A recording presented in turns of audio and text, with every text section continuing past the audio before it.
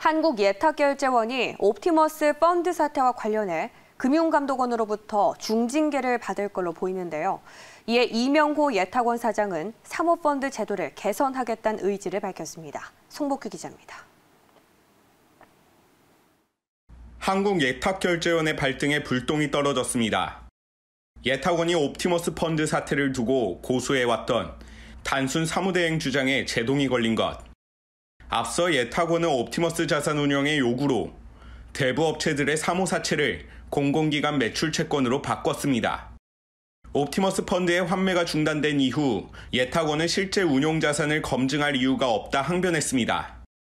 하지만 금융감독원은 오는 18일 옵티머스 관련 제재심에서 예탁원에게 중징계안을 통보한 것으로 알려졌습니다.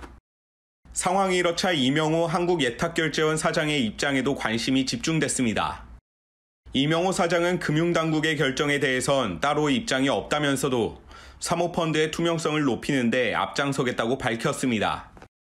법령과 제도에 대한 부분은 어, 저희가 해석할 영역은 아니라는 생각이 들고요. 저희가 시장과 약속했던 금년 6월 말까지 어, 시스템을 오픈하는 데는 어, 크게 지장이 없을 것으로 이렇게 생각을 하고 있습니다. 최근 논란을 빚고 있는 공매도와 관련해서도 입을 열었습니다.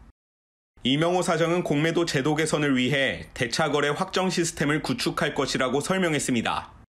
대차거래 계약 확정 시스템과 대차거래 계약 원본 보관 서비스로 무차입 거래를 막겠다는 방침입니다. 어, 대차 거래 계약에 대한 확정 시스템을 어, 저희는 조속히 도입을 하려고 하고 있습니다. 어, 시장 투명성 부분에도 도움을 주고 3월 달에 오픈을 할 수 있도록 시장이 주목하는 이슈 속에서 새해를 시작하는 한국 예탁 결제원. 논란과 우려를 불식시키고 증시 활성화를 이끌어낼 수 있을지 주목됩니다. 매일경제TV 송목규입니다.